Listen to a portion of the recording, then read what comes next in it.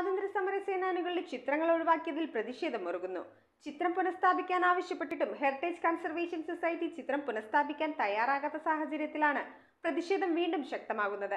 എഴുപത്തഞ്ചാം വാർഷികം നമ്മൾ ആഘോഷിച്ച് അതിന്റെ ഒരു ആവേശ തിമിർപ്പിലായിരുന്നു പക്ഷേ ആ ആവേശമെല്ലാം ഇങ്ങനെയുള്ളൊരു നടപടി അതായത് അർഹിക്കപ്പെട്ട ആളുകളെ അവരുടെ ചിത്രം പോലും എടുത്തു മാറ്റി അവരെ ഒന്നുമല്ലാതാക്കുക തമസ്കരിക്കുക എന്ന് പറഞ്ഞാൽ ഏറ്റവും വേദനയുള്ളൊരു വസ്തുതയാണ്.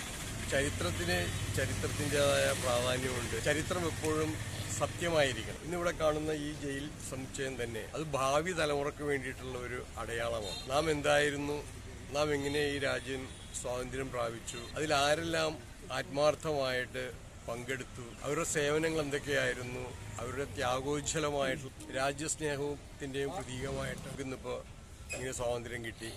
ആ വസ്തുതകളെല്ലാം മാറ്റിമറിച്ച് തങ്ങൾക്ക് വേണ്ടപ്പെട്ട ആളുകളുടെ മാത്രം ഫോട്ടോ എടുത്തു വെക്കുക. പൈതൃക ജയിൽ നവീകരിച്ച് മ്യൂസിയമാക്കിയപ്പോൾ സ്വതന്ത്ര സമര സേനാനി മുഹമ്മദ് അബ്ദുൾ റഹ്മാൻ സാഹിബിന്റെയും മുൻ എം എൽ എയും സ്വതന്ത്ര സമര സേനാനിയുമായ കെ ജെ ഹർഷലിന്റെയും ചിത്രം ഒഴിവാക്കിയതിൽ പ്രതിഷേധം തുടരുന്നു. മൂന്ന് ദിവസമായി ജയിലിന് മുന്നിൽ വിവിധ സംഘടനകൾ സമരം നടത്തുകയാണ്. പൈതൃക ജയിലിൽ തടവിൽ കഴിഞ്ഞവരുടെ ചിത്രങ്ങളാണ് ചുമരിൽ തൂക്കിയിരുന്നത്. ഇതിൽ മുഹമ്മദ് അബ്ദുൾ റഹ്മാൻ സാഹിബിന്റെയും കെ ജെ ഹർഷലിന്റെയും ചിത്രങ്ങൾ മാറ്റിയത് പുനഃസ്ഥാപിക്കണമെന്ന ആവശ്യം ഉന്നയിച്ച് നിരന്തര പ്രതിഷേധങ്ങൾ ഉയർന്നിട്ടും കൊച്ചി ഹെറിറ്റേജ് കൺസർവേഷൻ സൊസൈറ്റി അധികൃതർ ചിത്രം പുനഃസ്ഥാപിക്കാൻ തയ്യാറാവുന്നില്ലെന്നും പ്രതിഷേധക്കാർ പറഞ്ഞു. ഇതിനോടനുബന്ധിച്ച് യുവജന കൂട്ടായ്മയുടെ നേതൃത്വത്തിൽ ജയിൽ മ്യൂസിയത്തിന് മുന്നിൽ ഉപവാസ സമരം നടത്തി. സുജിത് മോഹൻ ഷമീർ വളവ് ബേസിൽ ഡിക്കോത്ത പി എച്ച് അനീഷ് എന്നിവരാണ് സമരത്തിന് നേതൃത്വം നൽകിയത്. നഗരസഭ ആരോഗ്യകാര്യ standing committee chairman T K Ashraf ഉപവാസ സമരം ഉദ്ഘാടനം ചെയ്തു. തോമസ് കൊറശ്ശേരി അധ്യക്ഷത വഹിച്ച യോഗത്തിൽ മുൻ കൌൺസിലർ അഗസ്റ്റസ് സിറിൽ നാരങ്ങനീര് നൽകി ഉപവാസം അവസാനിപ്പിച്ചു.